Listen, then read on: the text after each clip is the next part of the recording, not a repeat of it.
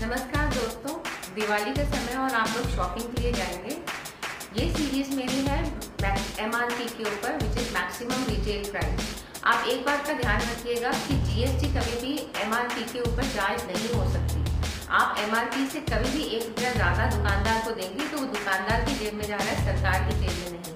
अब मैं आपको कुछ बिल दिखा दूँ जहाँ पे दुकानदारों ने एक्स्ट्रा चार्ज किया। अब ये देखिए, ये भुजिया का पैकेट है। ये फोर्टी रुपीज़ का ही इसका एम है जो मैंने चेक किया। लेकिन उसके ऊपर जीएसटी और एसजीएसटी लगा के इस बिल को 45 बना दिया गया। तो ये जो फाइव रुपीज़ है, ये दुकानदार का फ़ायदा है, ये सरकार के पास नहीं है। ऐसा ही एक ऑनलाइन बिल मैं आपको दिखाती हूँ। मैं साइट का नाम लेना चाहूँगी। यहाँ पे उनका एमआरपी था सात सौ बीस रुपये इसके ऊपर वो नहीं बेच सकते थे, लेकिन उन्होंने इसके ऊपर जीएसटी लगा के इसको 741 कर दिया। तो ये जो एक्स्ट्रा पैसा वेबसाइट ऑनलाइन वाले ने चार्ज किया, वो उसकी जेब में गया, सरकार की जेब में नहीं, और आपको लूटा गया। ये आपने एक्स्ट्रा पैसा दिया।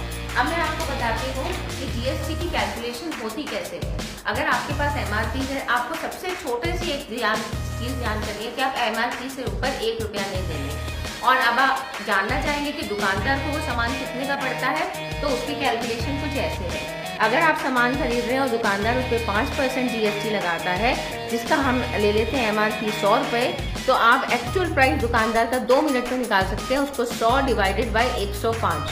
तो ये प्राइस निकलेगा 95.23 ऐसे ही 12 परसेंट के जीएसटी पे आप उसको 100 डिवाइडेड बाय 112 इंटू हंड्रेड करेंगे तो उसका प्राइस 89.28 निकलेगा। ऐसे ही 18 और ऐसे ही 28 परसेंट तो जो रेट है उससे उस पर प्लस हंड्रेड करके आप मल्टीप्लाई करेंगे तो आपको दुकानदार का प्राइस मिल जाएगा बिफोर जीएसटी अब मैं आपको एक आइडियल बिल दिखाती हूँ।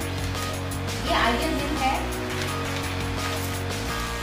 ये आइडियल बिल है जो मैंने कल ही खरीदा है। नीविया की एक परफ्यूम है।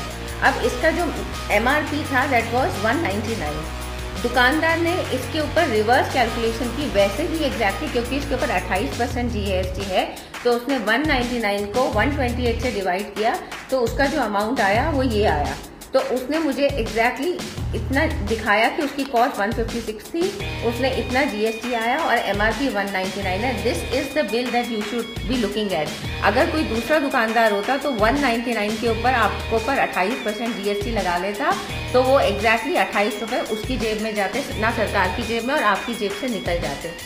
दोस्तों, मैं अंत में ये कहना चाहूँगी कि जीएसटी जो है, वो एक छोटे बच्चे के जैसे है, जिस जो नौ महीने का बच्चा है जो भी चलना सीख रहा है, लेकिन बार बार गिरता है। तब आप क्या करते हैं? क्या आप उसको कोसते हैं या उसकी उंगली थाम लेते हैं? इसी जीएसटी को अगर 125 करोड़ लोग अपनी उंगली थमा दें तो भारत एक ऐसा देश बन जाएगा जिसे कोई नहीं पकड़ पाएगा। तो जीएसटी को सपोर्ट कीजिए अपनी तरफ़ से जितना आप कर सकते हैं। नमस्कार।